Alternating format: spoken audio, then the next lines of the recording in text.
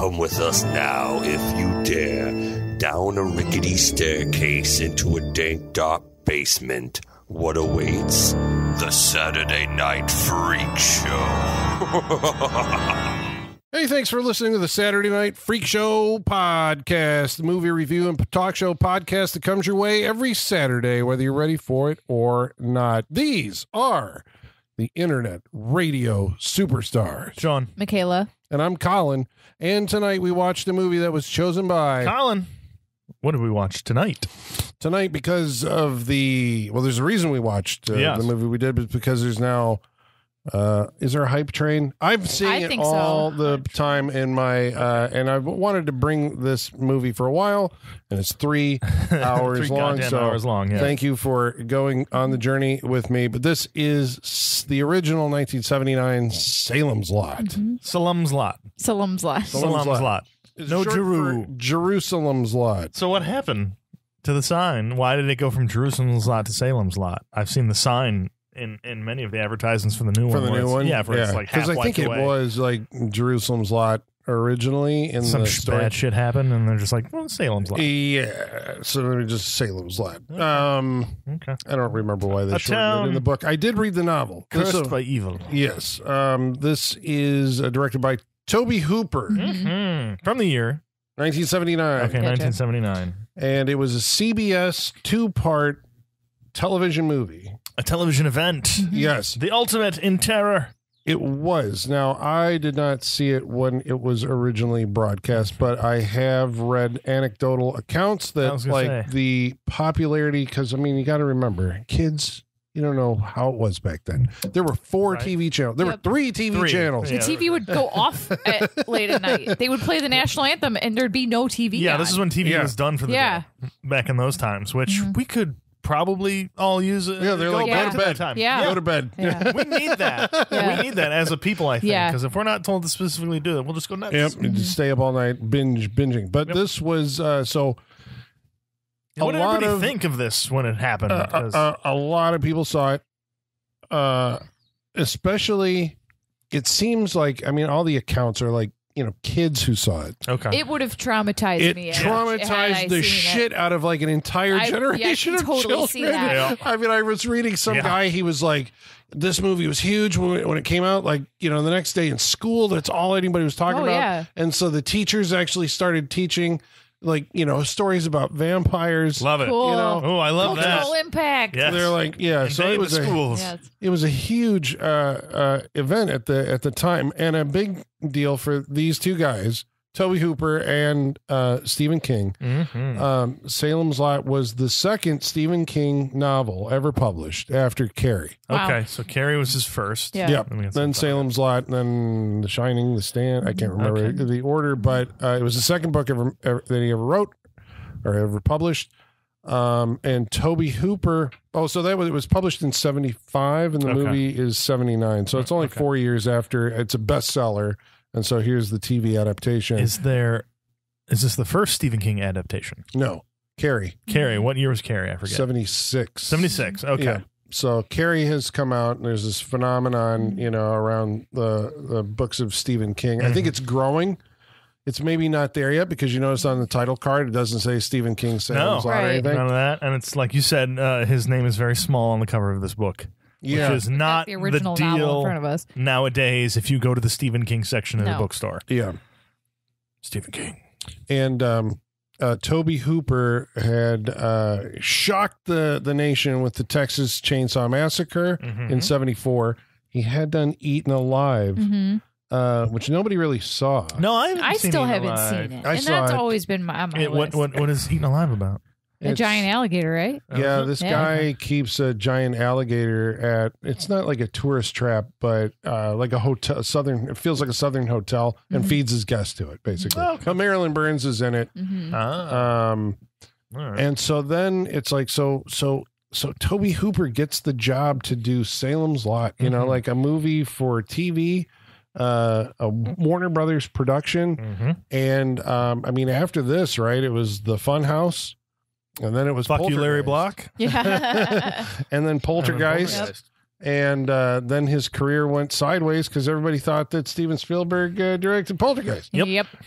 Pretty much. yep, yep, yep. But like you can see elements, you know, you, of you know, because you got like the, the the guy who did Texas Chainsaw did Poltergeist. I don't see it, you know, Oh, I see. but I think you can see it in there, you know. I see it. It's crazy that Texas Chainsaw Massacre is now a 50 year old movie, Damn.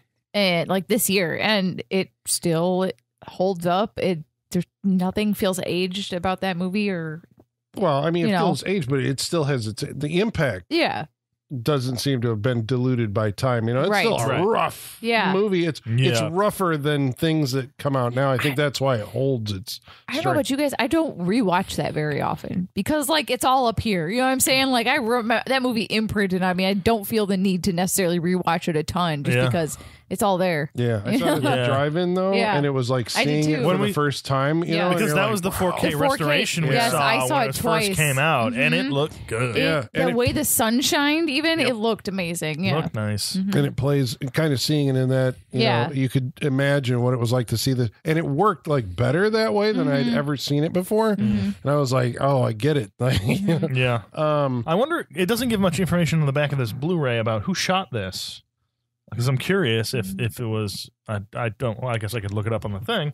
Um, if it was some of the crew from the Daniel Texas Pearl, maybe? no it wasn't i don't Okay. i don't think know it was daniel pearl there were some moments in this where we were wondering if maybe the the the production designer from Texas Chainsaw Right. had been It's either the same production Whatever. designer or Tobe Hooper. Tobe Hooper has some uh, proclivities that he Yeah. likes in Yeah. his just put bird feathers and bird bird shit feathers all and over it. bones Yeah. everywhere, and we'll be good. and horns on the wall Yeah. and Make it look like it smells. at some point someone will open a door suddenly Yep. and you know um so salem's lot has um i mean obviously now we have a remake a remake that was mm-hmm. shot in like 2021 that is finally Yikes. coming out in 2024 Was it shot in 2021? I think so. Oh, I boy. think it was like a COVID thing because I Okay. remember the novel tie-ins for this were out years ago. Wow. With the poster Wow. on it, you know, the guy's like standing in the mist going Which- up to uh, the Marston house. We all know you don't buy those versions, right? Because then if the movie's terrible, you have a reminder of how terrible the movie is. Yes, I do not like new movie version covers Nope, of books. I won't buy at it. all. I won't. Yeah, but I had to search for a different version of Pet Sematary. Yeah. because I'm like, I don't want that Oh, fucking yeah, new one. I don't the- want on Jason cover. Clarke on this cover. No. Get out of With here. The, the cat in Yeah. the dirt. Yeah. Yeah. The big Yeah. giant cat Yeah, face. although, like- Yeah. and there have been some really cool stylized versions of Stephen King Yeah. books that have been series that are like uh, minimal but v- Yeah. very cool. Well, I've never I've got an a- it version of it that's pretty I've good. never seen a uh, version of Salem's Lot that cre- like I mean I guess I do have a kind of a you know like a, a personal memory associated with both this movie and this this book uh, because the the cover art of the original book is like an embossed girl's face Mm. on black lit from below by some kind of unearthly blue light and she has a single drop of blood dripping out of her mouth. And i remember as a child seeing that in a bookstore Mhm. and it like creeped me out. Nowhere on there does it actually say it's about vampire Right. um It and i w- guess Just when I went to the um when I saw the Christine car at the horror convention, Oh, they had a little Christine museum set up that you could tour while you were waiting in line, and they had every release version of the Christine novel all in like this rack. so you could look at all the language Nice. translations, all the artwork, and I was like. Man, to be the person who curated this, this sounds like the coolest job ever. That'd be but fun to like, do. even still, there was like 200 versions of Christine. It's crazy how many different versions of Stephen King content get churned out, both Yeah, book and movie. As- Because- well, Yeah. especially over the years, Yeah. like they're just re-release Right. and re-release different countries, going here, mm-hmm. different translations. Yeah, yeah, Yeah. they keep his stuff always in well most of his stuff there are some of his books that you mm-hmm. can't find in mm-hmm. print anymore but Like uh I wonder. There's a story called Rage, which was part of the original I think I Bachman remember that books, one, and yeah. that one has been. I think he pulled it from mm. Oh yeah, circulation. There might be another one. Why is that? Why is there? a yeah. It's what about am a I school shooting. Oh well, Ah. from okay. the per- point of yeah, uh, Oh. but he wrote it in the seventies. Yeah. thinking? Shit. Well, now I want to read it. yeah. Yeah, Fuck. it's called Rage. All if right, you can let's find look it, that I one mean, it's like it's evaporated from. But I read it because I read the Bachman books. Like, Um, Yeah. there's a, uh, and we, you know what? We live in the year 2024. There's a digital version of that. stuff Probably Oh, there's a there PDF somewhere. I'll find on Reddit Guaranteed. and send Yep. it to you Somebody's later got tonight. I'm sure. Guaranteed. Um, so 1979, uh, vampires are in vogue. Uh, this is always. What else we kinda- got? Well, the the movie version of Dracula, the Frank Langella, Mm. 79. Uh, Yep. Werner Herzog's Nosferatu, Okay. 79. Uh, Love at First Bite, the one that everybody kind of forgets about. uh, George Hamilton, 1979. So like this is the year of vampires in Nice. Hollywood. Like I think maybe I didn't know if I because when was uh Blackula also somewhere around, I don't think it was 79 What did we watch? Dracula AD 1970 something? Two. 1972. 1972. Okay. but those are Yeah, Blackula we watched too, didn't we? yeah because there's there's like this progression of from from dark shadows um uh, kind of count yorga vampire I think is 72 like- was Blackula. Sorry. oh it was okay so maybe blackula or count yorga is the first they're the, like the first movies to take the vampire and bring them into the modern day it's like you know everything else dracula Mhm. AD 1972 i guess kind of does it but um With a with a bitchin' soundtrack. Yeah. yeah, uh, Blackula is like a contemporary, Yes. like you know, urban movie with Oh, a yeah. vampire Yeah. Oh, in yeah. it. Uh, Count Yorga the same way. It's like, what if we brought these characters into the modern day? And Salem's Lot, the book, feels like it's it's like the American version of Dracula. Mhm. Okay. You know, because you're going to have your monster hunters. There's there's a change from the novel to the movie where I think at the end of the novel there's at least four of them because I think Father Callahan is one of the vampire hunters Okay. uh, at the end, and then he goes off to be like in um, I think some of the the Dark Tower Okay. books. So he is a continuing character in the. I was gonna say Stephen it's always King universe. Callahan. Yeah.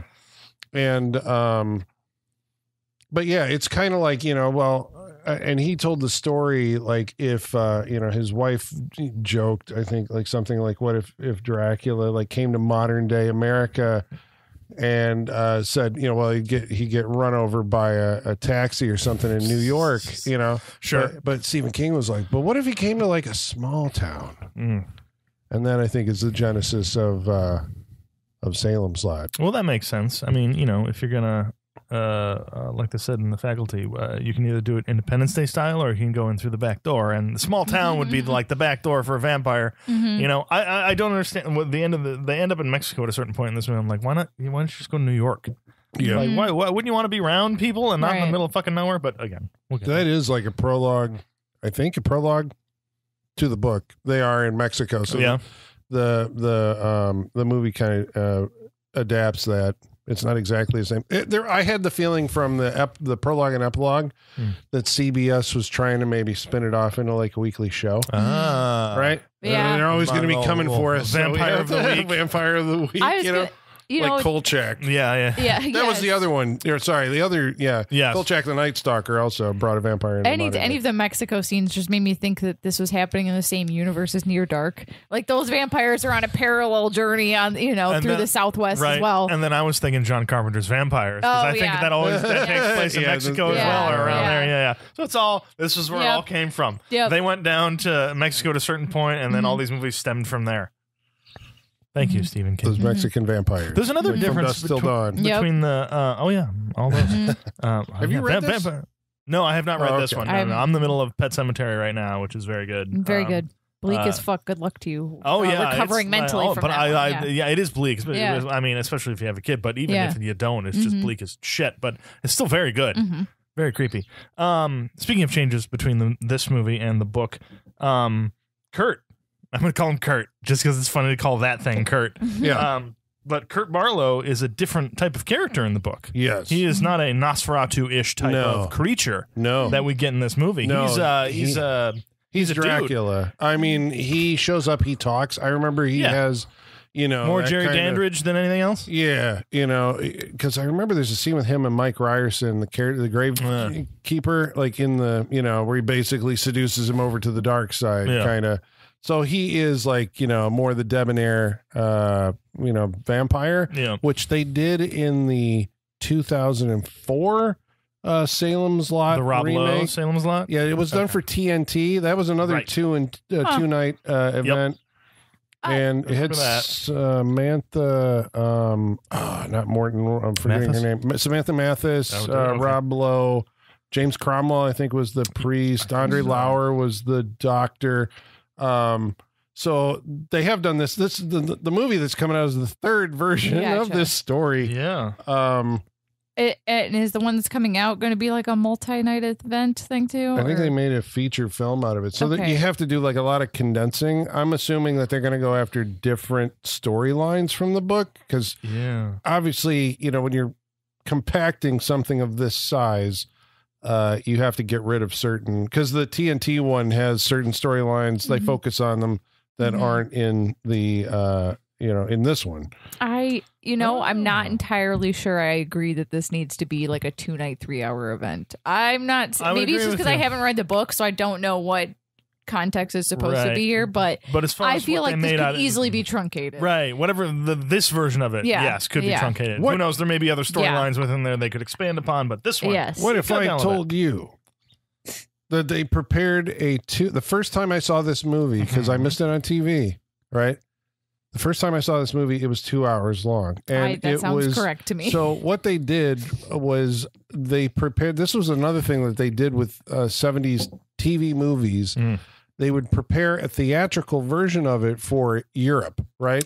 So there is a cut down version of Salem's Lot. When I saw it on VHS back in the day, it was two hours. It was like 115 minutes wow, and I remember an alternate take, and I had to actually look some some some stuff up about it. But when Larry Crockett, the real estate agent, is uh, being uh, uh, uh, Threatened? threatened by the guy whose wife he's him right there. no, um, Damn. He says, "Put the gun in your mouth, Larry," and he puts the gun in. His, he's biting down on the gun. And I guess standards and practice, uh, you know, No. for TV said you can't do that. So that's what's in the book. That's what's in the the, the other version I saw. That was But a then- tense scene. Mhm. They came out with the you know the full um miniseries, Mm. and that's the only one that you can find now. Okay. So I don't even know how you would find. I mean, aside from the original VHS, how you'd find the Mhm. theatrical um, cut Yep. of the movie. We got to talk to those VHS collectors out there. They've got it. Somebody does. Oh yeah, I'm sure it's out there somewhere. Maybe on, as a bootleg, you can see the two hour version. Okay, so Donald Sutherland was uh, in the 2004 one. he was Straker. He was Straker. and Rutger Hauer, Hauer. was Cool. Barlow. That's pretty good. That's pretty Yeah. cool. And in the new one, we have Pilou Asbæk as Mhm. Straker and a actor who I don't think we're supposed to know, but we do Yep. as Barlow. Mhm. Um, so I don't know if they're going for a Nosferatu thing, you know, or or not. Uh, so why Nosferatu? It's not written that way, Right. but I guess It's just a good look, I guess. Like, yeah. It's good the, luck. The producer said, you know, it's like, well, if it's supposed to be the epitome of evil, what's he going to say? right. You know, it's like, Mhm. why not make him this kind of rat uh, character? Right. Yeah. And the actor who Those plays him, teeth. We have seen before because it's Reggie Nalder. And if you remember Zoltan, Oh, the I Hound do. of Dracula, Yes. uh-huh. the Renfield character in that movie is the is No Barlow in this way. That's awesome. So he's been in multiple vampire adjacent movies, huh? Yes. Yeah. Well, Reggie Zoltan Nalder, was great. he was in. uh He was like an assassin in the Bird with the Crystal Plumage. Uh, that movie, I sw- we got to cover it. Yeah, how many? Ring the bell. it's six degrees of crystal plumage over here. This movie is always connected to something. and he was in the um the gory knockoff of um you know the Witchfinder General was the uh, uh Vincent Price uh in a movie. The gory knockoff was with Herbert Lom and uh I believe Reggie Nalder was in it. It's called Mark of the Devil, and they handed I've out the been meaning barf to bags. bring that to the freak show for a long time. that famous tongue scene. Yep. Yes, I have one of the barf bags. Yeah, Yeah, I want to say Reggie Nalder's in that yeah. one too. Reggie This is a bit sleazier, that's for sure. Is a creepy looking dude. Just You don't in say. general. I think he suffered a burn. Oh, yeah, he's got Uh, a distinct he's look. very cadaverous. Well, that's what they said. They're like, we want Reggie Nalder. Right. You know, we want his face. We want you to be able to see his face.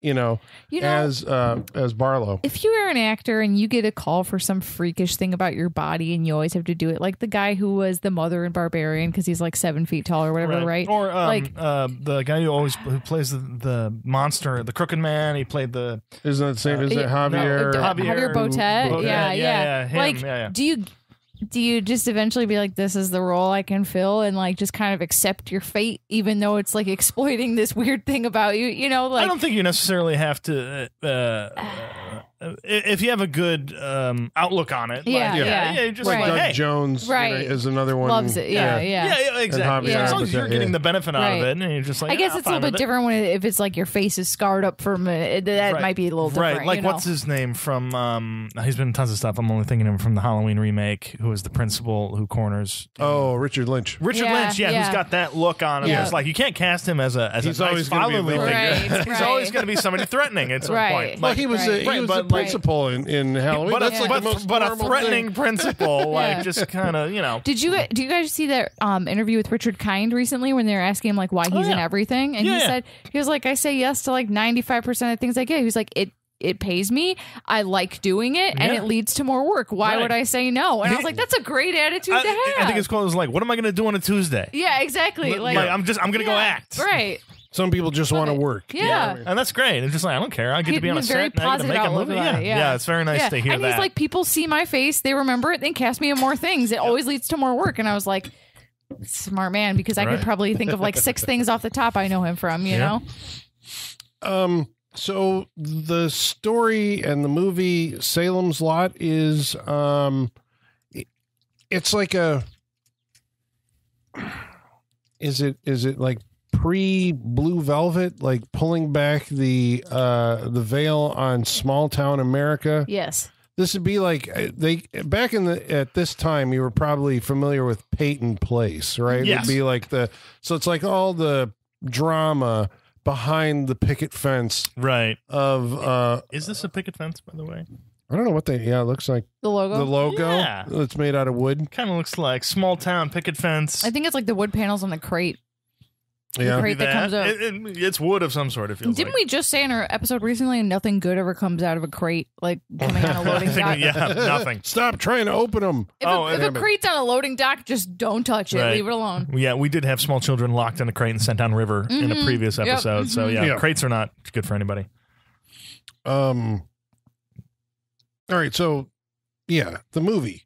The Uh you guys had never seen it before. No. No, no, I've I've seen, seen- I, I, bits and pieces. I've seen the famous scenes. You know, I've seen Oh, the yeah, I scratching think at the so. window. Yeah. Yeah. Oh, yeah, yeah. okay. I've always okay. seen that with no context. Right. Didn't realize it goes on for like two full minutes in this Yeah. movie. Yeah. This movie could.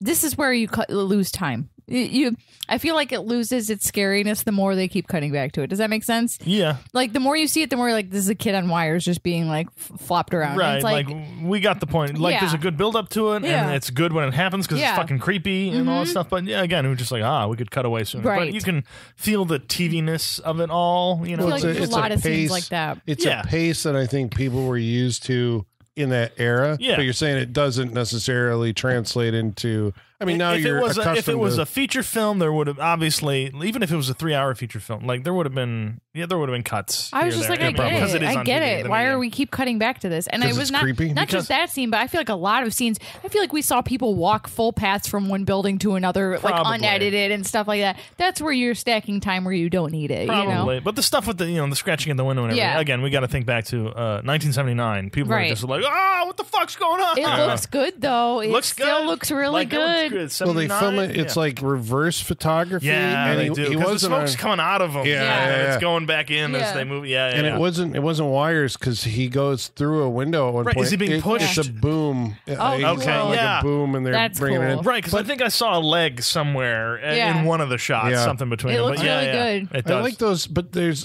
what I liked about those shots was it incorporated like camera moves, like in reverse, right? So they were like, we know we want the close up, then we want to pull back, Right. But you have to think like, well, how they they did this obviously backwards, Right, so we You you know. know push in and then go back Yeah. in order to get that looking this way. That kind of stuff I appreciate. It's cool. Yeah, yeah. Um, so it's about a writer. Uh, in this movie, it's uh, David Soul from Starsky and Hutch. ah, uh, plays the writer Ben Mears, who is returning to his hometown after many years away to write a book about a haunted house. yes. Because what else would Stephen King write about than an author going to do something? That's what he knows best. It's what he This knows is best. the first Is it the time he wrote one? Okay, about right. right. Carrie was the other one. Yeah, Carrie this. was the other one. It's true. So yeah, this is the first instance of many. But, But- yes, Isn't patient this zero. like when you see this movie? Or read this story, it's like there is a template here for like Stephen King's career. Oh Yeah. yeah. There Oh, was yeah. this I was getting ahead of myself because there was this spot where like a van pulled out of like a parking lot reck- recklessly and I was like, "Oh, is that the van that hit him that he puts in every book?" Oh, Uh, but that hadn't happened yet. That hadn't happened Yeah, yet. So I was like getting ahead of myself with my forgot Stephen King that. lawyer, Yeah. lore. Yeah. Yeah. He always puts some drunk like village idiot driving a minivan in like all of his books because that's who hit him when he was walking. Well, he's Really? trying Okay. to, you know, like he does this um cuz I mean it feels like I don't know, it uh you know there's there's so many of them where there's a small town, you know, you think it's Storm of the Century. Actually, That's it's where- Needful Things is Yes. the one, you know, it's a, it's about like another monster Yeah. opening an antique store in a small town That's where and the all purest. That's where the purest evil lives, Colin, in small towns, in small where towns. you could is that get, what he's you can get away with it. You yes. can- where it's not gonna. The whole world won't know about it. Just these people, and you can get away with the evil. Which it's like the opposite of the thing we talk about with like uh like superhero movies now, right? They're all about like the world is ending, we got to save Right. the whole world. There's gonna be a sky portal and all this stuff. The Stephen King takes like the opposite approaches. The smallest community where everybody knows each other, Yep. everyone's cozy with each other. So one domino falls down and it has this whole effect. It's Yep. it's, it's great. I mean, it does kind of. It seems like you know his towns. It's like everybody knows everybody else's business, Mm-hmm. Yes. Um, but there are still secrets like within the town that are always threatening to Ancient bubble lore. out. There's always lore. There's lore. There's Mm-hmm. always the secrets of the of the of the of the people. There's always an affair going on or something Mhm. illicit's Yeah. happening always over an here. affair. And we'll get to it, but Nothing Uh, else to do in a small town. When she got slapped around, I was like, ding, ding, ding, point for Stephen King because we had talked about on Girl That's Scary. They talked about who slaps around women more, Giallo or Stephen King. they have a point. it's every time now I notice it. We watched a Giallo within the past year that they also slapped a woman around. Yep. So, like, they're as far as the freak shows keep his score right now, they're neck and neck. So, yeah. Is Stephen King doing it like when when he does those? You know, because he'll put you know It's always a racist villain. characters, uh, Yeah. abusive characters. It's like.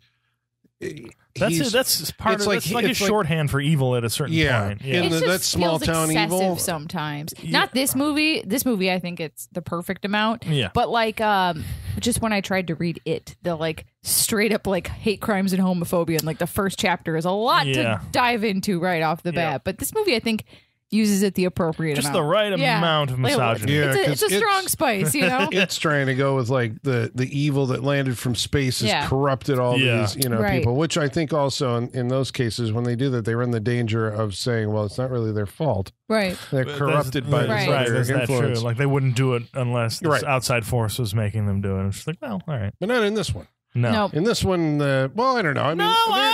Are they like uh, you know he's going for like okay this is a cross section of the average american populace Mm. of a small town so he fills in all the Yeah. Mhm. the colors of that right hmm Definitely. Oh, it's always. I, I do appreciate that Stephen King towns are always like a blue collar town too. I like that about his Yeah. his novels. You so. know, because that's now that I'm thinking about that, it's like the other person that I remember hearing a lot of, uh, um, not not criticism, but they, they would talk about his work that way with Steven Spielberg, Mhm. right? Would do the same thing with like Suburbia. It's always parents getting Like divorced he in was, suburbia yeah, with him. Yeah, he was always, the suburbia guy, and uh-huh. Stephen King was the small town guy. Yeah.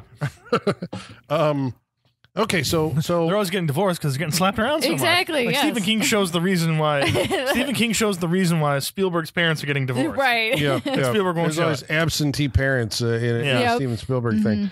Mhm. Um, so there's almost like, you know, this is like a, it, it's a story, you know, to fill, I guess, the two nights, or you know, the book has Yeah. uh, multi-act structure, but Mm-hmm. um, there's there's like two focuses, right? Like the first half of this seems to revolve around the Marston house, right? Yeah. Before we even get to vampires and all that, Yeah. there is uh they're laying in the history of Salem's Lot, you know. Mhm. So we we get that through like a pageant. Mhm. Um we know that there was a fire in the past that destroyed the town. I like that as a kind of a foreshadowing thing. They laid it in and then could could uh reference that again. Right. Because you almost had your um your perfect horror movie ending, which is burn the house down. Mhm. Yeah. You know? Well, they do, yeah, and then do. it then it spreads to the town and, Yes. and, and purifies, Purifies the it. town Mhm. just like it did in the past. Yep. Uh, so what what is the Marston house? Why and why is it the focus of of the movie? evil things have happened there. It is kind of like I don't want to say it's like a Boo Radley house because that implies there's still like a, a misunderstood misfit living there. But like Right. it is like the lore house in town of like bad shit. What do they say? Like its walls have like evil have trapped evil's essence Yeah, or something why like does that. yeah, why does he think that the uh, from his perspective? Because he this is about uh, a writer who comes back to the town. So why did he uh, think it was uh, haunted or evil to begin with? Uh, there was always stories about the house. So the house, like whoever built the house, uh, killed themselves Oh, right. and their wife, Right, killed the wife and the daughter or housekeeper or something like that. There and was- then somebody else moved in, and this was Hubie Marston, right? Yes. And possibly, I think from the book, if I remember correctly, he and his sister were, uh, you know, or sister wife. Yeah, yeah. sister This wife. is the sister wife question. Right, this right, one right. he says his sister and wife, yeah, you know, died. and we Sean like spun out, and I'm glad you called that out because I was like, I thought I heard that wrong too, and was like, We heard, yeah, sister sister, wife. wife. and I'm just like maybe because people speak weirdly, and they're just Right. like sister wife, Yeah. like and and maybe there was a you know uh, mysterious comma in there, but no, probably sister wife. So he's layering in. It's like his references, right? Are he's he's drawing from Shirley Jackson's The Haunting. The house Mm, yeah. is just evil to its core, Yeah. in its plaster and in, Yeah. in, the- in its bones. Right, Which I feel like is an interesting kind of point of view for a Stephen King thing because I feel like his problem is he over explains how things are bad or why things are bad sometimes. Mm. And I think I've heard that John Carpenter eh, described as the opposite, whereas John Carpenter, a lot of his movies are things are just born bad. So I like Yeah. that this movie's kind of taking more the approach of like, this is just the house was born bad, you know? it's Like, bad. Do you- yeah. It's like, do you believe in the inherent evilness of a house? Yeah. Yeah. Mhm. and this house and the production design in this movie is definitely going with it because this is a creepy looking house. Yeah. Uh, it is. Uh, uh, it's like half Psycho House, half Amityville House. Right. Just up on a on, up on a hill and uh, very creepy. No, no Be- house on a hill overlooking a city has Never ever been good. good, right? No, yeah, never good. exactly. The old house on the hill. But I mean, they Never always look not great. haunted. But yeah, I think Psycho's obviously an influence in the design. That was uh, a facade they just built on a hill. Okay. You know. That they could burn down later. I don't think I don't know if there was a house behind it or if that was Oh, really? like, It's you just know, that? uh, Okay. just a facade. All right. Um, but the the house has like so. Here's the thing that I'm afraid that the remake is going to do. I think the remake is going to show you Ben Mears' uh, encounter, ghostly encounter, because Okay. that's why he he like he Yeah. you know he'd heard all the stories about the house. But he went in there when he was a kid, and he describes this so you can almost like see it, right? Mm. And he goes in and he sees Huey Marston hanging, you know, Right. his flesh green, his hands livid, you Yeah. know, his tongue all puffed out, I think. Oh, hi- yeah, his Uh, eyes, eyes swollen shut. Yeah, yeah, And he opens his eyes and looks at little Ben Mears, and Ben runs out screaming. And is like always. They're definitely going to show it. fascinating. They're going to show That's show the it. cold open of the movie. Yep. but is it better to the way that this movie does it with that? no, like describe it later. that was Leave a great because leave a I little see it in my mystery. mind. Yeah. And we don't need to see the flashback. You know, I don't think. Like, there's a lot of in this movie. There's a lot of like just uh, a slow push in on some guy telling a story, and it, uh, effective as far as I'm concerned. And sometimes that's all you need. Like, I don't need to see all of this stuff. Did you ever see a movie? This is a sidebar, I guess. Uh, there was a movie called was it called Scare Me? Do you I remember did. this? Remember, I You hated this is it, divisive. I hated this movie. but that was a you two have movie talked about Hated it it. before, I think. because it's a movie about like two people end up in. Uh, I think there's a third Yeah. hander at some point, Yeah. but it's basically two people telling each other stories, and so it's like Right. Mhm. it's an anthology horror movie where they're just telling the stories, Okay, and But- so you're but- doing it in your in your mind. You're so seeing they the don't movie. go there. no, No, it's just they them don't talking. dramatize it. You don't see any cutaways. it McKenna is. was very much No. no. That's what I thought it would be, and no, it's two people talking to each other. How for long is two, it? Is Like this two regular- hours. Okay. And- yeah, and uh, Aya Cash is in it, who's from The Boys. So I was like, oh, I like her. I like the, her and Hmm. The Boys. I like this. Did not like it. Interesting. Did So not maybe like it doesn't sustain a feature. But I mean, what I Yeah. always think of is like you know that scene with uh, Huey Marston. I re- I remember what that scene looks like, even though it, It it's didn't in the show it, movie. Yeah, I remember Jodie Foster trying to save that lamb. yeah. Mhm. You Oh, know, yeah. even Right. though I never saw it. Oh, yeah, I, Right. I see her, her arms Right. wrapped Yeah, around yeah, that yeah. thing, running. Right. Yep. It's like those are those great moments Mm-hmm. of you know, um, so new people have bought the house. Uh, this is a Richard Straker and a Kurt Barlow. They're Yes. opening an antique store in the town of Salem's Lot. Straker is the only one that we see. Barlow will arrive To- at right. some point in come the, soon. in the future. So we're like, okay, he's the vampire, right? We get it. You know, you got the Renfield character who's setting up the, you know, uh, Mm-hmm. the path for the vampire to arrive. So they do the movie um, follows several storylines from the and characters from the book, um, but the main first part of the movie focuses on uh, this affair. Mm. Right? Yeah. Like that forms a large Yeah. part and then once it resolves itself, it goes away. Like yeah. we- Yeah. That's the whole first act of the movie is this affair, and I'm like, is there vampires in this? movie? 'Cause We're taking Uh, emotional Yeah, vampires. Yeah, seriously. Yeah, I, I mean, I like the storyline, but again, like you said, once it gets to a certain point, it just goes away. It's done, Mhm. and it's just like, ah, what is it trying to represent? Is it just an incident that happens in this town? Is it trying to show that bad things are just kind of bubbling underneath the surface? You know, affecting people. Is it trying to say that? It doesn't feel like it's trying to say that. I feel like that's me putting something into it.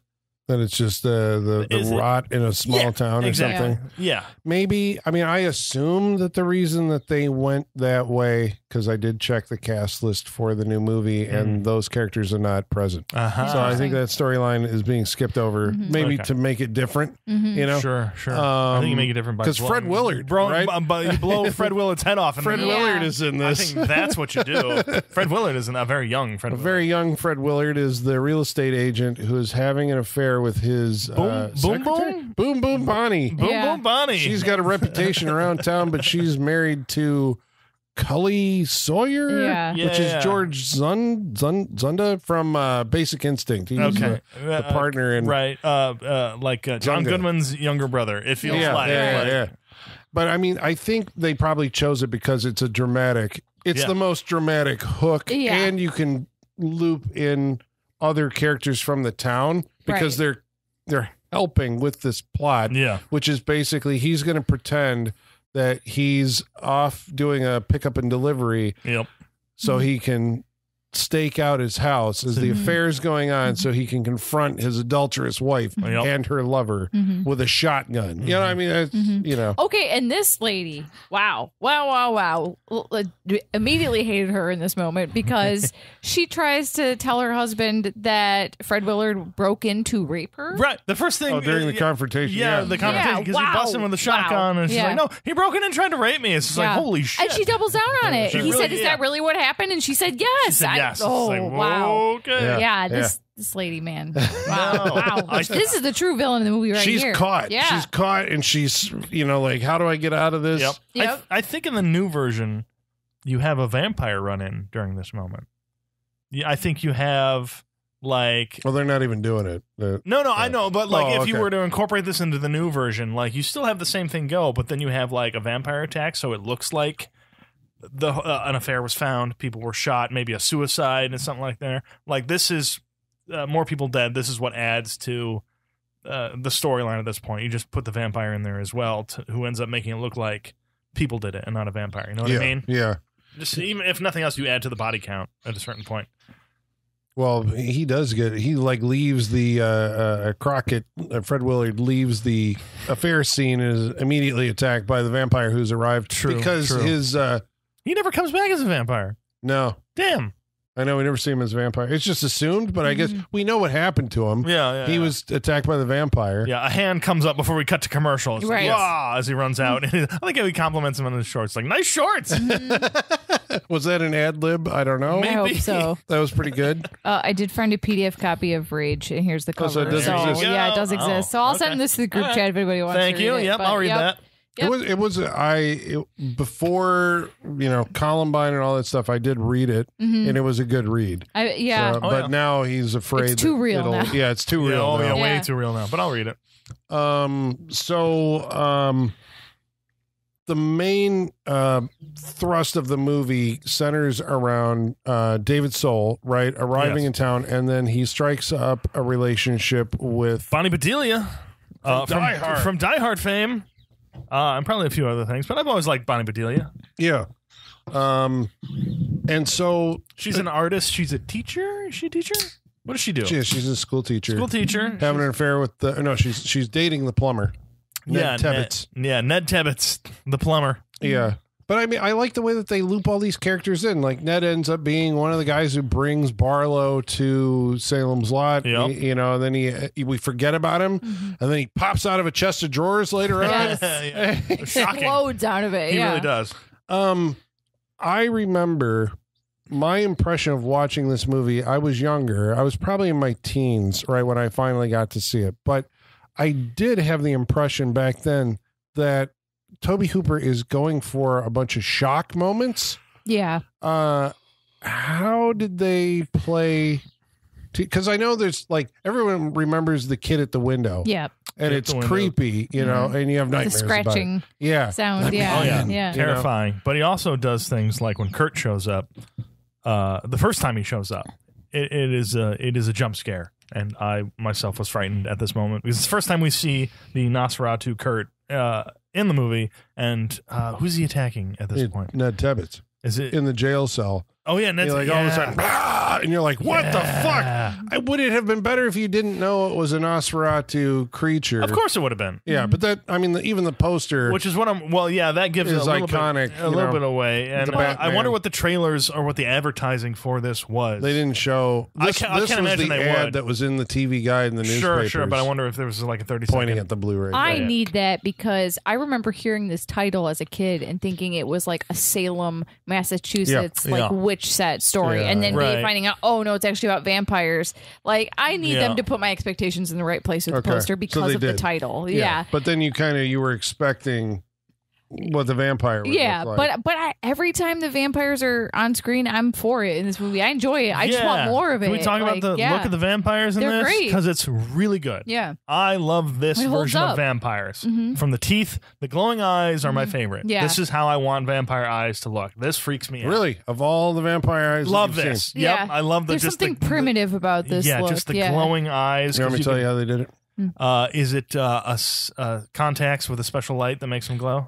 It's the you know the stuff that they used on. Close you it. remember the cat's eyes in in the their in the road? Mm-hmm. Oh it's yeah. that reflected. Oh, thing. Gotcha. Yeah, okay. The, That's the cool. actors said they couldn't see a goddamn. Oh, I bet they and couldn't. hurt. You know, those Oh yeah, Yeah. because it's- contacts. in 1979, those are glass Yeah. contacts, huge glass contacts they're putting under their eyes. Is there a reason some people's skin gets darker when they turn into a vampire? I I was think a little they're going for like a wasn't sure how. blue Yeah, color. yeah. I Which think it I looks more just- blue in the light, but in the dark, it just looks black. I think it's just the deterioration of the of, of the skin because Yeah. they are undead. I the mean, makeup job is just more obvious on some people Right. than others. Yeah, but it depends on the lighting. Yeah. You remember? um I think obviously when you die, you kind of take on like an ashen sheen. as the Right. blood, right, you know. right.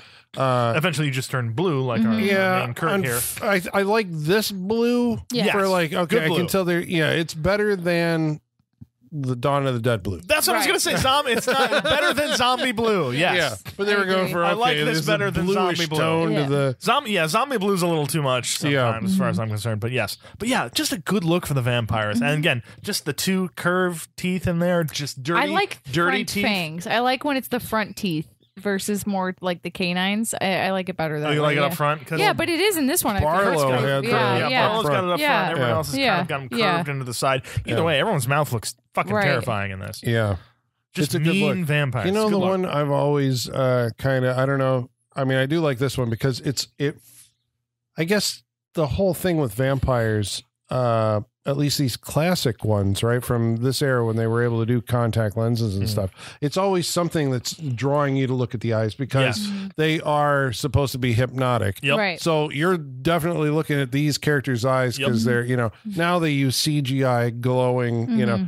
But I did like um, Queen of the Damned Yeah. Because they were like cat's eyes. They only caught the light in certain, uh, you Ooh, know, like that. they'd be in the dark. Like they'd be sitting there talking to you and they look fine. But when they go in the dark and they catch the light just right, there was that, Yeah. you know, how like cat's eyes Yeah. you know look. how in Pitch Black, uh, Yeah, hit Vin the- Diesel's eyes look. yeah. It's like that. Right. Yeah. And my greatest compliment to the Wolfman is, Yeah. is that one scene with Anthony Hopkins where he backs away in the jail the cell in the dark and the only Yeah, thing there is his it. eyes glowing. That's Yeah. Like. Yeah. That's what gets me. I'm just Yeah. like, that means Yeah. evil to me. It's well, like, ooh. Es- especially because it taps into like our primal like um kind of instincts of like always be looking for the predator and it's Yeah. like that's the dead giveaway is the front facing glowing eyes like that's like Yeah. we are being stalked as prey right now yeah Yeah, Yes. I mean, yeah, Always creepy. Mhm. yeah. It's a it's a good look for for vampires. Yes. Um, it does take them a while to show up. Like you're talking about, like Yeah. that shock moment Mhm. with um, uh, Because the first one's the kid. Yeah oh The yeah, yeah. the The kid shows up at the Right. yeah, yeah, right, yeah. yeah. At He the shows window. up at the window. Mhm. Um, and then they the uh, then the they do it effect's so again. good they do it again. They do Right. it again. The second one, he actually comes in and bites the kid on the, Right. on the Which is neck. I cool. think. It is cool, and I like how they find the kid that morning. Just right just his head cocked to the side in such an unnatural way. It's just like, ah, Right. because Yeah. and they cut right to it, and Yeah. it's disturbing to just be like, ugh, the kid's dead. it Yeah. didn't pull its punch with the kids i appreciate that I know, yeah, kill the fucking kids. Yeah. Fuck them. Everyone's everyone is up for grabs. yeah if you want to show us you should be. mean business Yeah. take them out Take yep the kid out. Um, I mean, I guess the, the the movie does dedicate a lot to the uh the develop the blossoming love story. hmm Um, James Mason is in this movie. yep, yeah, Straker, and he Yes. is great. He's, I mean, he's just with that James Mason voice. He, Mhm. Like he's doing so much uh, good work.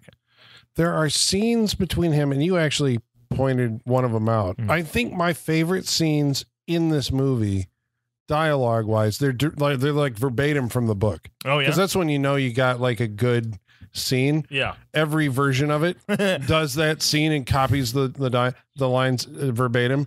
But it was between um, James Mason, Straker, and the sheriff. hmm There's Ah. there's two scenes. Oh yeah, where they're telling yeah, just like what this makes no sense. This is Yeah. well, it's two it's two characters who like know something's up and are just circling each other Yeah. verbally. yeah, yeah, yeah. And so they're just kind of going back and forth like, "Oh, I didn't think of that." And just just their Mm. spar they're, they're it's weird sparring cuz not a lot of it makes sense, but they're going back and forth with each other and it's very fun. yeah. It's like how do I And get him that to James give me- Mason and it's just like I've, I've I've told you there's nothing going on here and just leave, sheriff. Yeah. That's I think what he wants. That's not what he's saying though. No. He is very polite. But I mean Very there's polite. always that kind of menace to everything that he does. Yeah. Um Cuz he knows what's going on. Does James Mason. And I mean I guess they well, I don't know. The the the movie uh, you know that he's the bad guy. So he's Yeah. seen like with the corpse of the I don't think that actually I don't think the kid's dead. I think he brings the first kid he is the one who attacks the right. first kid, right? Because uh, Right. Marlowe's being shipped in in this like cold, you know, shipping container from yeah. the docks, Unnaturally cold shipping container. and Ma- James Mason actually attacks, I think, the first kid. Glick kid? Yeah. Or, uh, is that what they're called? So Yeah. I do Glick have a question. Yes.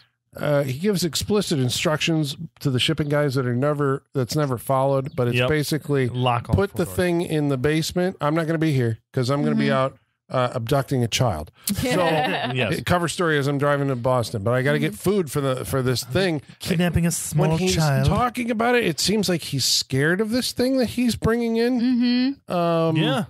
and so he's like, put it in the basement.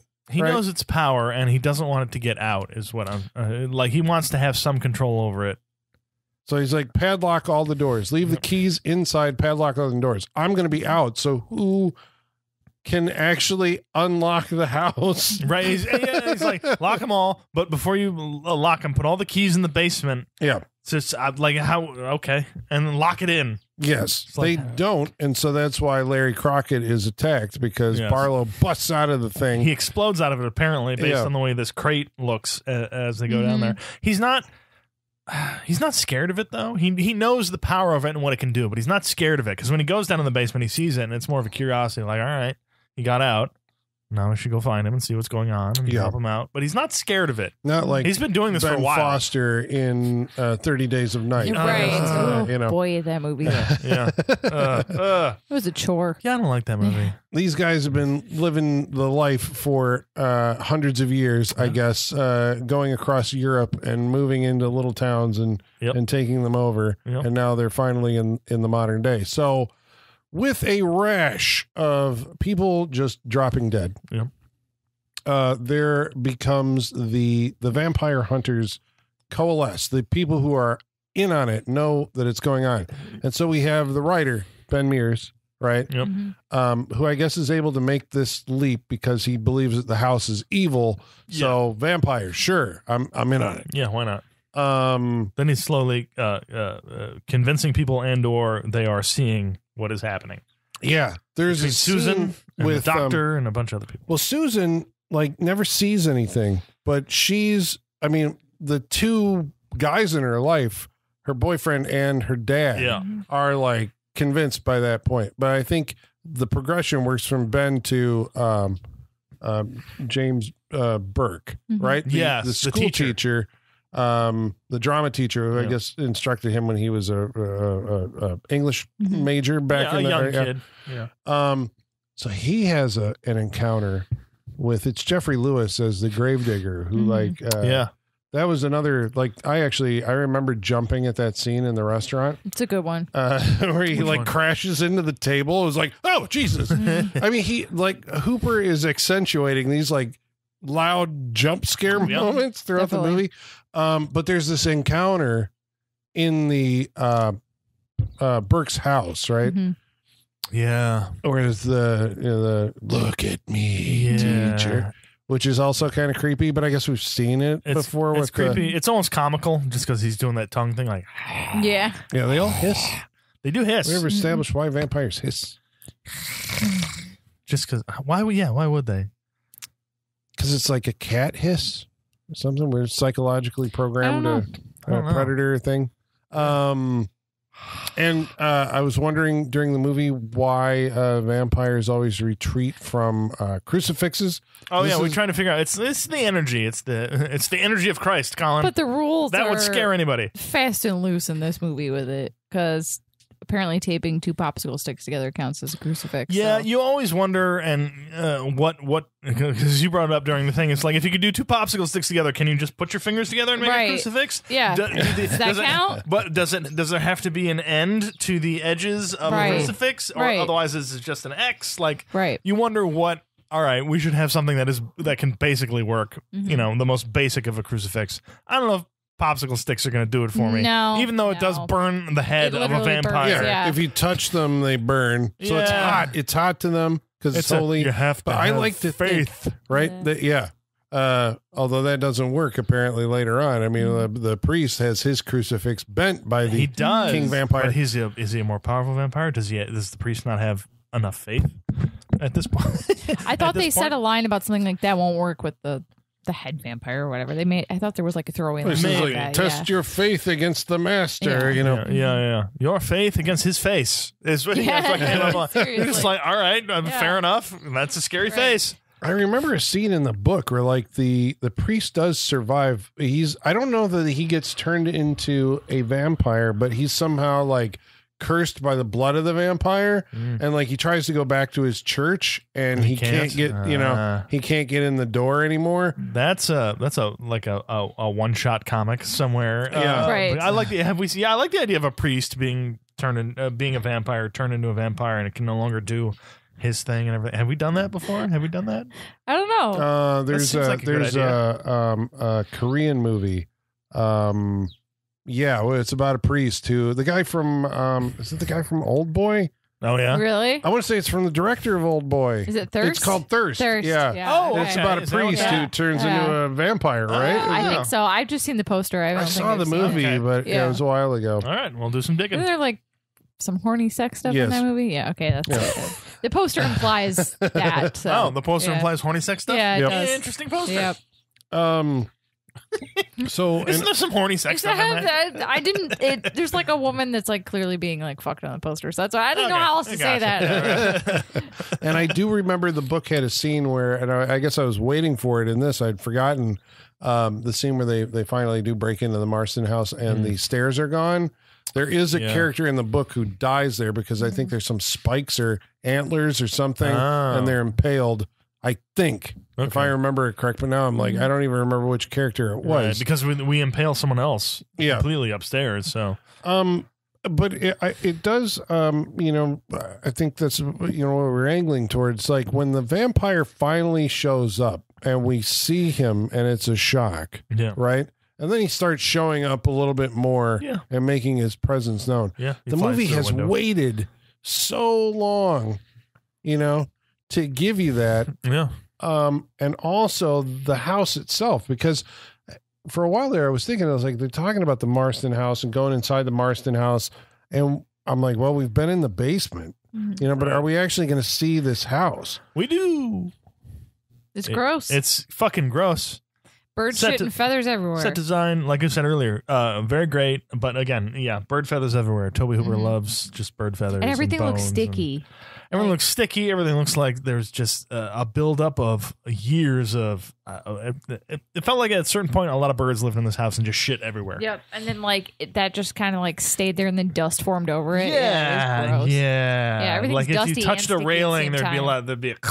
Oh, one of the characters does at one point. We're all like, "Oh Uh, God, don't Yeah, touch that." It's like yeah. don't don't touch anything in this house. Yeah. Woo. It is a weird, um, because I thought a lot Like about. Fright Night, uh, during this. I thought a lot about Fright Night during this. Yeah. Because uh, Fright Night lifted, you know, So many quite- things quite it felt like from this. Yes. from Salem's Lot. Yes, if nothing, and also the rolling fog, Mhm. like it made its way to Fright Night from this Yeah. I mean, well, well, like we said, I fog machines. 80 uh, Fright Night Absent in our new Salem's Lot trailer, CGI fog. all CGI fog. fog, which just- missed. That Ju- has to fuck cost that. more than a fog machine, right? Fog machines are so fucking cheap. You can go to par- Party City and buy one for like I think- five bucks. I think because it looks like because it all looks like it's shot on a set or a stage Yeah. somewhere. It's easier to control it, I guess, Yeah. for the shots they Oh, want. yeah. I don't. Right. Because yeah, I fog, you know, depending on the wind. but if you shoot indoors, that it's way- easier to control it's- fog than it I, is. I don't yeah, understand. I it can't doesn't- explain their Yeah. why they want to Yeah. keep using CGI Right. fog because it looks like Maybe shit. it is a real fog in an indoor set. Maybe a little bit, but that is, you can tell it's all filled in around it. Yeah. It's it's blank. It has no character. It's just I could sit here and complain about that trailer all day, but Yeah. But the house in this, they do hold off for quite a while before we see it, and then the uh, third act does take place within it. I always it's cavernous. and there's House. this idea, you know, um, because I was like, does Straker actually sleep here? Like he presents himself as a cultured man of the world. Sure, if nothing else, that he's British. And then you're like, but once you get inside his house, you're like, Ugh. does this guy like do anything? Like, does he cook and clean? Does he eat food? What is there a Mm. kitchen in this dungeon hellhole? You wonder what he is. well, yeah, especially because what are the rules on the Renfields as far as their powers and if they can live and die? Because uh, again, I was thinking of Fright Night, another character who gets shot and then eventually just melts on the stairs. yeah. Mhm. Like what? What is this power that they have? They are. Are they? What are they promised by the vampire in which they do these things? Uh, and and the upkeep, the upkeep Yeah. of of keeping a vampire Right. uh, Well, roaming around the movie countryside. that, that tries to address that is uh, let the right one That- in, right, you know, yeah. like, Yes. from the the uh, the Renfield's point Yeah. of Which seems And like we a get- bleak existence according Yeah. to that It- movie. very Fuck, yeah. bleak. Even if it wasn't that, even if not Right. that movie, it does seem very bleak. Although they get acid face Yeah. in that one, which Yeah. is just like Boy. Yeah, oh, in the remake. Yeah, oh, yeah, I yeah. yeah, oh. Wait, did they do that? in They did the they first did in one. the originals. Oh, Yeah, Yeah, okay. yeah. That Yeah. I don't movie's think just they. One of them they showed the pouring on. Yeah, where they I didn't, think that's but- a remake. Yeah, Yeah, I think so Yeah. too. Yeah. But woo, Um, maybe I have to go back and watch those. I see. I feel like I'm good on those. Like I I mean, got, I got it. You no, know? yeah, Like, no, yeah. you're very right. Yeah. But just, ooh, yeah, just That bleak. Matt Reeves one is good though. Yeah, I Better like than them it has both. any right to be. Yeah. I did appreciate the part where the, the they got in the car accident and spun around and then that did the Yeah. time jump back in time and kind of Yeah. non-linear storytelling. I thought that was creative. Yeah, yeah, it was a Yeah, yeah, they're it both was a good. very good remake. Yeah. Mhm. Um, but in the end, they're able to uh, they they defeat the vampire Well, they- old fashioned way. right. They got to go find him, Stakes. and so he's in the root cellar. Uh, uh, Mm-hmm. uh, a root cellar. Is that where you just dried roots to save for later? Is that why it was called a Yeah, root I cellar? guess so. That's what I'm guessing. Yeah. Okay. Our modern houses don't have these, Yep. No, not at all. you know. But there was also like uh, some houses had like the cistern, hmm you know, where you could get water because I think Yep. that's Yeah. the Amityville, like the uh, Mhm. the hole to nowhere or whatever, the portal to hell. And it in doesn't the it have one in the in one one basements? I thought I have been in houses Yeah. that have those, Yeah, like because he was afraid of it, right? And wanted to Right. go down to the basement because yeah, of it. yeah, Yeah, yeah, Or at least in the new one it did. yeah, and the new one it did. Mhm. But they do. root they do. cellars and cisterns Yep. in your basement. But they do find where uh, um, um, Barlow is uh, uh, laying at rest. Uh, his coffin's in the root cellar, surrounded by bodies, Mhm. as it were, and so they have to drag him out because you know the sun's going down and everything. um, to to defeat him. I like why do you wait until the fucking last? why do you wait to the last fucking minute? Like had all again, goddamn day. This is the complaint I had last week with bats. I'm just like, we have daylight all day. Yeah. Right. We the hours of it, and mm-hmm. we're waiting to the last minute to figure this shit out. But yeah, so the sun goes down, and they have to open the coffin and and and try and stab him through the heart. I I like this part uh, where um what's the Mark is the young kid's name? Yeah, we We're- haven't talked about him. No, we haven't talked the about the other at character. Yeah, No, uh, he's the one who's like he's the other, the younger Steve, side of Stephen King. Yeah. right. We have Ben Mears as the older, the Yes. writer, Right. but then the kid who's interested in horror. He's like Yeah. Tommy in Friday the He Thirteenth. is Yeah, 'cause he he is. has got masks, he's got posters, he's got, Got a action cool figures. Yeah. Like yeah, and the kids make fun. Fuck these kids. Fuck the, his friends who are just like this is kind of weird, man. And it's just like nah. It's you don't come into my house, see my awesome room, and tell me this shit's weird. Yeah, fuck like off. come in my house and disrespect me. Like get the fuck out of here. Yeah, like get out of here. like- I know we got to practice our lines and everything. He's a very uh, cool customer. This kid. yeah, that kid's bedroom was probably bigger than that other kid's whole house. Like this Again, bedroom was also like, oh, like cavernous. attic. Yeah, exactly. It's Yeah. like the sets are huge Yeah. in this movie. Huge, but uh, uh, there is where he, he gets uh, he gets pushed around a lot. Yeah, he does. Uh, Poor oh, kid. very forcefully Yeah. by um um Ben Mears. Ben Yeah. Mears and everything. But as he's watching, as he gets pushed to the ground, he's watching Ben Mears s- s- uh, stab and then hammer the stake into Barlow. Like I like that the bodies that were in the root cellar are coming Yeah. back to life Yeah. behind Yeah, him 'cause he- and he- That was slowly cool. crawling their way. I love It's that. like another because he does that psycho lighting thing. Like you know that the Ben when he's gonna he raises the stake and he hits that hanging lamp. yeah. Yeah. So it'll swing back and forth. Yep. Mhm. And then in the shot of the kid in front of the root cellar, it just it shows that they're there. Then, then the back. light swings away. Yep. It was effective. You see like how the clothing comes towards him, and then you see the eye, the the slight glow of the eye Yeah, coming yeah. towards him. It's one of Oh. those things where uh, you know it's like there's certain filmmakers that just they know what is frightening. Yes. You know they know what's scary. Yep. And Tobe Hooper knew what that was. Yep. You know, it's like in this movie you can tell like he knows like how to make a horror movie. He does. You know. I wish he got to do it for more of the runtime of this because I I don't know because we get a lot of uh, more in the back end. yeah, I would Yeah. say there's a lot of setup getting into this. a this. lot and of drama leading up to Yeah, a lot of this. drama into it. I don't uh, dislike it, but No, I was compelled by it. no, but- yeah, I was too. Um, but uh, yeah, I wish there had been again when we spend so much time on the affair stuff. I wish Mm. Which just something. exits the movie yeah, entirely. I wish what something was the more point? Yeah. productive had come from that. Maybe Mhm. you know a death or you know a little more murder Mhm. uh, earlier on in the movie, kind of to set up the badness of kind of maybe the whole town and all that stuff. Just maybe a little more of a punch in the beginning part.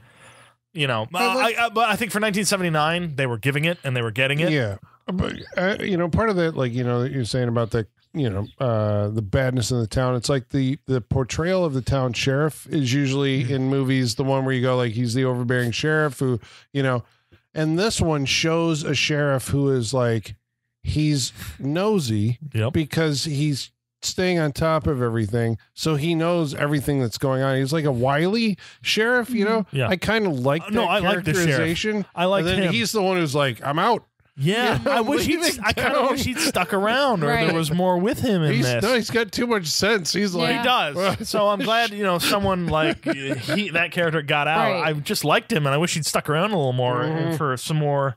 I wish there had been more murder and maybe investigations earlier on yeah, in the movie to use that character because I liked him so much. He was so good. But yeah, you're right. He's the only one who's got sense. He's like, I'm gone. I'm Yeah. packing up my family. I'm leaving. and I think David Soul and uh, the doctor, um, uh, Susan's dad, obviously they have. I think they have heroic qualities because they're like, you know, we have to flush out this evil, we have to stop it. But Yeah. Most of these movies, Dracula included, kind of give you this, like, you know, well, you got the boyfriend and the father. Of course, they're going to go in there because the girl's in there. Mhm. Right. we have to get her, you know, and get her out. So it's not entirely you know, like we just have to kill the evil. We also have to rescue Right. We have to save. uh, Susan. Again, Fright Night. Uh, another Yeah. example. Mhm. We can yeah, yeah, Uh, they don't. they don't. I was very surprised. Yeah. They don't. It's like Susan, please forgive me. I'm so sorry. As Yeah. he sets the house on fire, like she, yeah, up up, up to this point, like she's gone. We're Like we Yeah. don't know where she went. She came to meet the man she came here to meet. Yep. You know, whatever. yes. um. So then, yeah, then there's this like ending uh, where she does show up again as a vampire. So I, I don't know if that was in the. I can't remember if that was in the yeah, it's novel, not in but the book, but she does end up showing up. This is the part I remember because I think I remember watching this um, very early on. Um, my parents always loved this movie. They said it was one of the scariest things I'd ever watched because they watched it when it happened, when it was on TV and everything. So I think I one night when they were watching it, I think I caught the back end of this. So I remember that ending scene with Bonnie Mhm. Bedelia and Mhm. the and the death and everything. But Oh, okay. Yeah.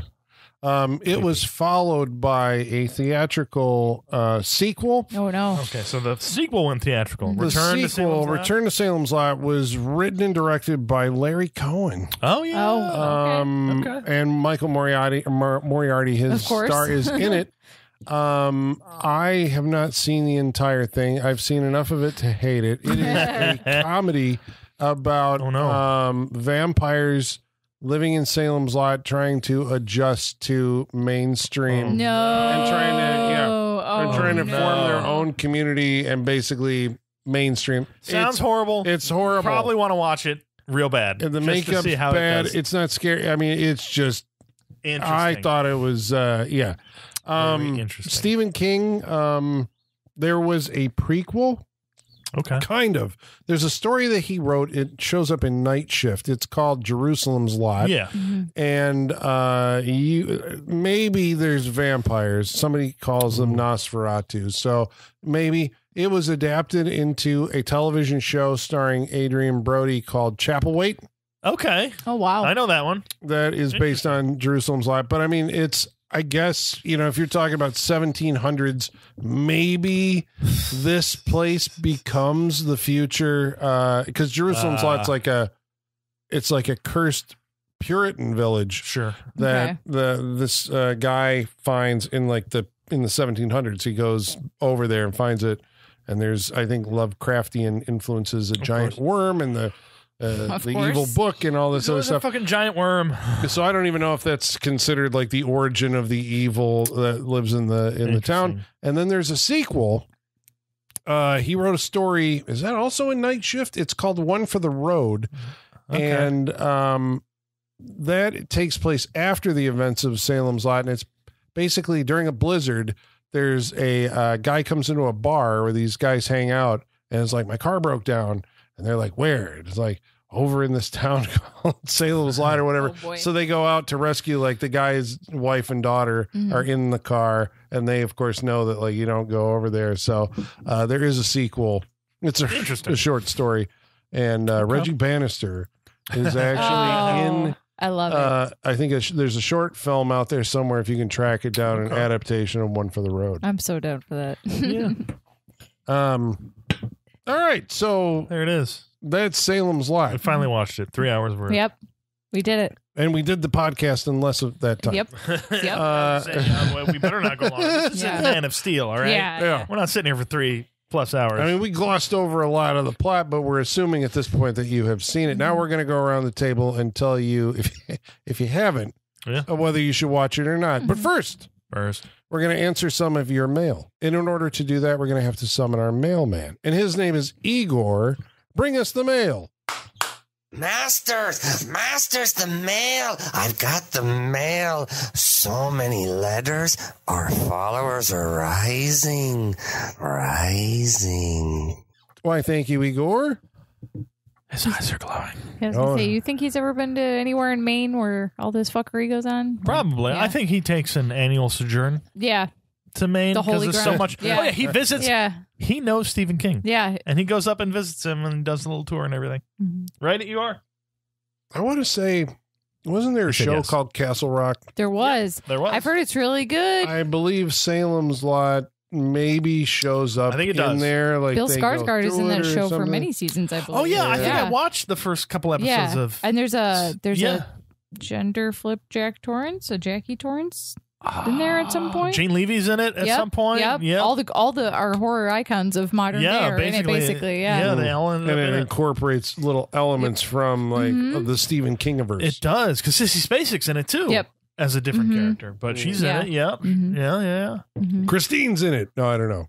I hope so. Okay. Uh, I Didn't haven't wait. seen What? it. Uh, well, probably. sure. Yeah. All she got to do is drive past. Didn't Yeah. we do an updated um um no, with James Caan and Kathy Bates? Uh, Misery? Misery? Did we do an updated? She wasn't. Uh, Castle Rock season two Oh, was really? that character. Okay. Oh, Okay. Season two was the Kathy Bates character played by what's her name from Cloverfield. Um, and oh, I know who you're talking Yeah, about yeah, because yeah. she kind of resembles Kathy Bates. yeah, a little. Like, yeah, uh, Kathy Bates. Yeah, I can't remember her name. uh, she I know was who you're talking. Kinsey, she or the sex Yep. show on Showtime. Fuck, I forgot her name. Yep. Yep. Yeah, they redid that with season two. Okay. Yeah, they did. Um, well, we should let the good folks at home while uh, Captain Google is on the case and finding out the actress's name that we have. Uh, Lizzy Caplan. Lizzy Lizzy Caplan, of course. Okay. God damn it, it was on it the tip She's of my great. tongue. I love Lizzy. Caplan. Yeah, oh, Caplan, yeah, she plays that character. Awesome. Um, Annie Wilkes. Yeah. Annie Wilkes. There Yes. Um, so we should let the good folks at home know how they can uh, participate on this interactive portion of our show by following along on Facebook Facebook.com slash Saturday Night Freak Show. or on X At Sat Freak Show. or by email Saturday Night Freak Show yahoo.com. or on threads and Instagram at Saturday Night Freak Show about tonight's movie, Salem's Lot. Michael Whitaker writes in and says, What are you doing? This is generally regarded as a good movie. Shouldn't you be reviewing Return to Salem's Lot? LOL. I love how uh, we we have just become the bad movie podcast. And it's like, no, no, no, this is too good for you guys. Do something Well, worse. generally, that's how I like to work. You go for Yeah. the, you don't go for the good ones, but uh, you make exceptions. It's Halloween Right. season in September. Yeah, I, We're Oh, getting- yeah. yeah, Halloween we're season spooky. starts September 1st. Yeah. Uh, Steve Carney says I rented the three-hour version of Salem's Lot from Blockbuster when I was really young, and watching it during the day terrified me. The two open the window scenes still scare me, and the glowing yellow eyes are very creepy. I think this would make a good double feature with Phantasm, released the same year. See that. I don't think you can- Ironically, you can double feature this with anything. This It's three hour too long long, yeah. Three-hour-long This movie. is the double feature. However, during the movie, Sean, you made a comment about What did I James? Mason Yes. had a tall man vibe. He does. He has a tall man vibe to him, especially when he uh, lifts a dude up by his shoulders. Like he has, you know, he's got that super strength Yeah. that Renfields have. Yeah. But yes, he got uh, got that uh, tall man vibe from him, even though he's a short fella, I believe. Although I want to say this came out the same year as Ah. Phantasm, so there couldn't have been any shared. What a shared- great time for horror. Uh, Robin Linneman Silverberg says, I was and am such a Stephen King fan that my parents got me my own 13 inch black and white TV so I could watch this in my bedroom when Aw. it first aired. There you go. I love that. Just for you. Yeah. Richard Krotzer says, The look at me teacher scene ruined my childhood. Yeah. I Yeah. Uh, Yeah. The effects for this particular scene hold up. Yep.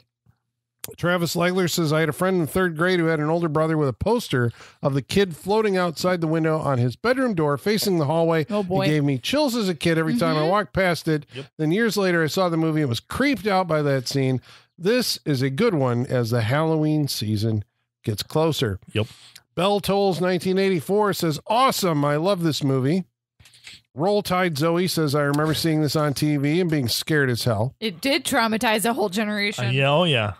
Mike Welch posted a photo of the Reb Brown Captain America and said it was a deep cut. And so I went on Indeed. a little bit of a keyboard warrior journey and found out that yes, Captain America 2, the movie that had Christopher Lee and Yep. Reb Brown in it, Yep. was the lead in to part two of Salem's Lot. when Was it? First Wow. Aired. That's right. So you went from Captain Wow. America to Salem's Lot part two. What a time to be alive. Reb Brown is back. Yeah.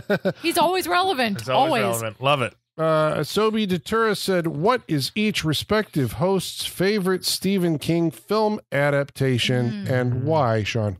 Uh, Sleepwalkers. Oh man. I That's mean not an adaptation. it was That's original an screenplay. original. I'm still gonna go with it. Uh, no. Um, they haven't done it right yet. Um, what are all the adaptations? Uh, Carrie. Yeah. Carrie. I like a Carrie. Good, good movie. I like Carrie. What about Dreamcatcher? That's not your favorite. Uh, I've been threatening to bring that that, for is- years, but it's also another three hours three-hour long. Yes, movie? that's why I Yeah, haven't brought shit it. weasels and whatnot. Yes. I remember watching that. Yes. I think probably Carrie. Mhm. Probably Carrie. I yeah the first ca- the first Carrie I'm going to specially Yep. specify Yeah, because yeah, yeah. the Chloe Moretz one is not good. Um, but I mean, man, in Sleepwalkers I was going to say, but Doctor Sleep that might be Oh, a yeah. confer- controversial take. Love that movie. There go. Love that movie. That movie hits me in an emotional way that other Stephen King stuff doesn't. So I mean, The Shining. It, can you count The Shining? Because it's I not. do. I mean, it is, but it's Yeah. so different from Yeah. the Yeah, but division, it's an but- adaptation of it. Yeah. I, I would count but it. it's a, I, I mean, The Shining and Doctor Sleep. I think like that is the perfect I mean, I can't, I can't. Can you imagine doing a sequel to a movie like 40 years later of an iconic movie, Yeah. and you have to recreate like scenes from the iconic movie? Like it's, it was an undertaking, and only Mike Flanagan could have pulled it off. So yeah, I say Doctor Sleep. We'll see what he does with The Exorcist. Yeah, Yeah.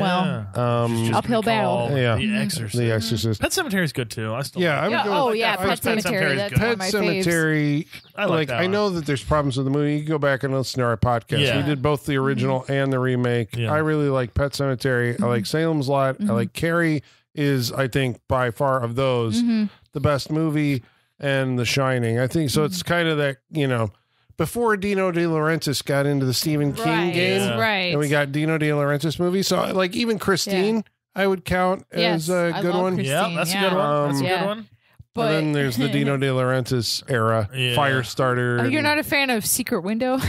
Oh no! I forgot oh, about and Shawshank Window. Redemption. Yeah, though, I'd yeah, say yeah. like you know Uh, Green Mile. yeah, I don't care for that as much. yeah. Yeah. I haven't read the. I don't. Well, I. uh, When they say adaptation, do we have to know what? It, the, Yeah, that the, was a, the, the those source were material? like these thin novellas. I remember that he came out. That was like an experiment in Mhm. Yeah, uh, distribution of I know uh, Travis Legler's. Uh, yeah, yeah, exactly. Maximum, Maximum overdrive. Maximum Uh, Overdrive. Uh, she just called me an asshole. Cu- Cujo is not much of a movie. I don't know if you guys have rewatched that lately. There's not Ooh, much not- to not it. recently. Not much to it. It's no, pretty but thin. Seven Caught the Um, car. Yeah.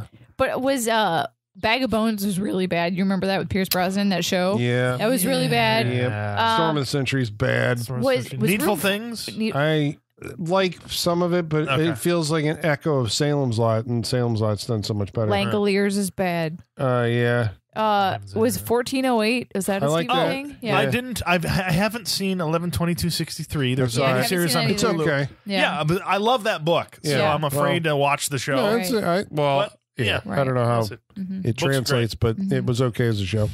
Um, last week we watched a movie called Bats. Bats. sure did. Bats. Uh, Bats. Bats. Bats. Bats. Uh, Travis Legler says it's from the director of Carnosaur 2. You have to see it. The gore is better. It has a three point lighting, and it's basically a ripoff crossover of Aliens and Jurassic Park. I'm so, sorry, Sean. It will not like be- Tremors not be 3, seen. Critters 2, Jaws 3, and Robocop 3. There are some movies you just can't give up on, even if others shit on them, and you know you're a little curious. I like the three point Homecom- lighting as a selling point. for that Right, Because we criticized Yeah, the it was so original, dark, like it didn't have it. Oh, I'm always curious. The Always- more always professional carnosaur. Michael Whitaker says, So I've heard about that luxury coffee that we talked about Oh, on yeah. the the bat shit bat out. Coffee? episode. The And batshit coffee. Yeah. He says, What I heard was that it was really has nothing to do with passing through the animal system. The bat just manages to find the ripest coffee fruit to eat. Oh, so technically, people are drinking poop coffee for no real reason. Ew, that that makes it so much worse. I was hoping there was something special about the process. Okay, well that's even worse. No. Ew. uh, I don't need to eat something that passed through another well, let's animal. whatever we said last week, I will not be drinking coffee from either a, Yeah. a, a bat's anus or a cat's anus Yeah. or whatever we said last week. I won't be drinking that coffee. And uh, the week before, we watched a movie called Eyes of Fire, which I think has had this is the one comment Oh, okay, that we had yeah. on Eyes of Fire, which I think is some kind of record because even seen it. movies that I was like, no one has Yeah. seen this. We've had at least two or three people chime in Yeah. on those. yeah, because even Wicked, Wicked, now that was uh, off the Yeah. beat. had Duo-Vision. people- Yeah. Uh, but this one, we have the comment from Simon Carter, who right. says that Will Hare, who is in Eyes of Fire, is definitely Old Man Peabody for me. Now, we had said he is the actor who was in Back to the Future Mm-hmm. Gotcha, as Old yep. Man Peabody Yep, and right. as the grandpa in Silent Night, Mhm. Deadly Night. Right, right, right, right, right. Simon Carter says he's Old Man Yeah, Peabody yep. to him. Yep. Okay. He's Good. the grandpa in Silent Night, Deadly Night to Yep. me. Yeah, that's what I remember him from. Uh, so thank you, each of you, for writing in. We really appreciate it. We do indeed. Now we're going to go around the table and we're going to tell you what we thought of tonight's movie, starting with Michaela, Yes. as if it could be anybody else. Uh, yeah, Uh, yeah. well, I- t- real shocker here. what did you think about 1979's Yeah. Salem's Lot? I mean, this was a long time coming. I've seen the poster design Yep. and like the title card design, and like is very iconic. It's clearly like a uh, font generated specifically for this movie. Yes. Um, heard a lot of hype about it. I remember a long. I had to adjust my brain a long time ago till it's a vampire movie, not like a witchcraft movie. Um, unfortunate name for this movie. I, I don't think it adds a ton. Um, but there was a lot of pressure on this movie to deliver because it's been something I haven't seen, but I've seen like the famous imagery from for so Yes. long.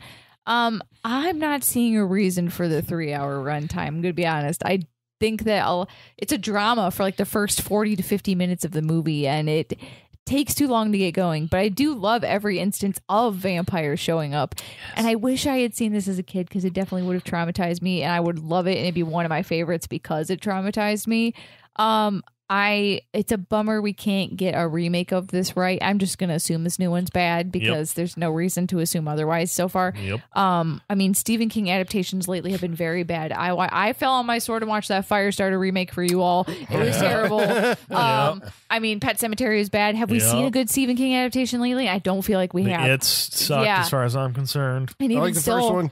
First one's but fine. even still, that's a seven-year-old movie now Yeah. or something like that. Jesus, you know, yeah. so Well, the Um, thing in, in the remake of this, the, the the trailer, right, Mhm. has the scene where Marjorie Glick sets sits up, and they had to do that thing with her voice. no, You know, it's like "Blah, blah." they like and it's like, modulated it. Oh no, Ah, it's like you can't like it's so cliche. right, It's so right. cliche. Um, yeah, I just found myself kind of bored with it at times, and I don't think it earned the three hour runtime. So I'm not going to recommend it. But I love that it traumatized an entire generation. I think movies like that are culturally significant, and we should hold them as such. Even if I didn't personally connect with it, I love its place in movie history and Yes. cultural history. I'm glad it exists. I'm more curious about the book now, definitely, than I Yes. have been. Um, and I, I, I really want to see a rock solid version of this. Mm. yeah, I that re- could really be. want it. Um, but I'm not gonna recommend it. Sean, what do you think?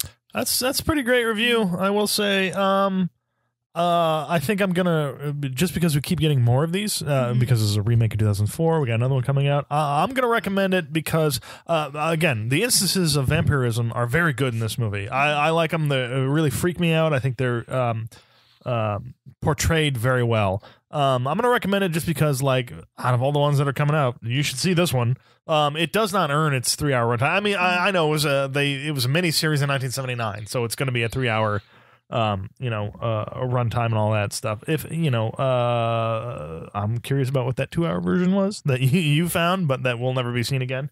But there is um there, there's a lot to like about this. Um, I like kind of all the actors that are in this. I think everyone's very convincing. Everyone's very uh, fun or menacing when they need to be.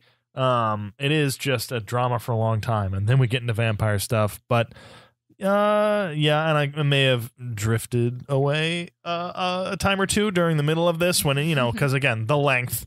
Um, but I still think there's um a good amount here that you should visit because it's Salem's Lot, like Mhm. you know, and that uh, uh design, uh, whether being stolen from Nosferatu or not, uh, still still very good, very solid. Scared again when he first shows up, scared me. Mm-hmm. So uh, it is a jump scare, but uh, yeah, there's a lot of good in this movie um, that I st- you should see. So uh, yeah, original Salem's Lot. I'm gonna recommend it. Uh, yeah, it's still a good time. Just a lot of creepy stuff in this um, that I think you'll enjoy. So I'm for it. Colin, take I mean, home. it's interesting to hear your perspectives on it because I guess my you know thoughts on it are tempered by nostalgia. I think it's great, uh, but that's because you know um, I'm used to the pacing. I saw it when I was younger. I think it's the scariest TV movie that I've ever seen uh, because it actually made me jump and Yep. it's creepy. Uh, Tobe Hooper as a director on this, I thought was like really good. The actors are good, good. directing. Yep, His good the shots are good. The direction's like really good. Yep. Um, There's no dialogue that I that I went. "Ugh." Yeah, Yeah, That's yeah. true. Like it's Yeah. written I guess well. that's the thing. Like, yeah, I thought it was written well. Like the and he knows like he gets out of scenes like you know like Yeah. on a line, boom, we're out on a line, boom. So I guess yeah, the the pacing didn't bother me. I was absorbed by like the characters and what was going on. I realize that when you're trying to shoehorn like any of these big multi-character novels uh to compress them you have to eliminate stuff and you know you choose things to focus on um and once the so it, it like sets up the town it feels like for the first like hour and a half and then the second hour and a half is like okay now there's vampires and everything's falling apart yes. you know um and the vampire effects like we said are, are creepy um I really enjoyed it. I think that's what it comes down to. I, I think this is one of the. It's also not only the scariest TV movie I think that I've ever seen, but it is also one of the best vampire stories. I like um, the analog, I guess, to Dracula. You know, Mhm. it does. It feels like the American, the American Dracula story. You know, and that it, uh, you know, I guess I don't know that it had a huge. Like when you look at other movies, I know we've been picking a couple out. You know, Fright Night. Fright Night we said was like the um, that was the last of the Mhm. classic. You know, it Yeah. it's looking at the tropes of all the classic Yeah. movies. So obviously, it bor- borrowed from stuff like Salem's Lot, Yep. but um, I think uh, I lost my train of thought. I don't know. I- Enter- Mhm. it- it- entertaining. It's it's good. yeah, I, I I very enjoyed it. So uh, I, I I say you should watch it. All right, so that's Salem's Lot. Uh, next week, Yes. Done. there you Checked go. We have watched list. it, and we will check out the uh, remake. I am I'm sure. curious. Yeah, I'm curious about it too. I'll probably I'll, I'll watch it up to Begrudgingly. yeah. I'll watch it to the point where it pisses me off. and I'll just be out. I'm just like, we're gonna okay. have to all We'll like how- text each other while we're watching it. Be like, what time? What time did we you got out? Yes. Yeah. What time we Oh, all yes. dropped out of it? we're all Like, gonna October third. Maybe Yeah. there's good stuff in it. Maybe we'll be But let's see. pleasantly We're willing. I think we're willing to give it a shot. Yeah, it's more the style, I guess. I'm sitting there going like, okay, you know, Right. it, it seems cliched conjuring. Yes, yeah, yes, yeah. yeah. All right, we'll see. We'll give it a its Yep. day in court.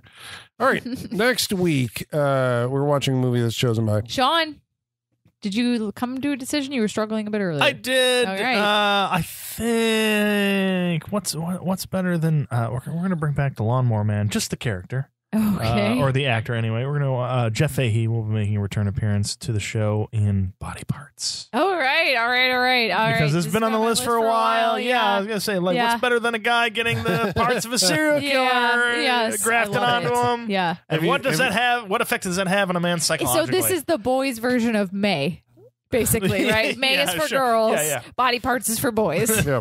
have, have either of you seen I want this that before? t-shirt. I have not. I have not seen Body All right. Parts before. No. Okay. All right. So that's Body Parts Yes. next week mm-hmm. on the Saturday Night Freak Show. We hope you'll join us. And until then, ladies and germs, the basement is going dark.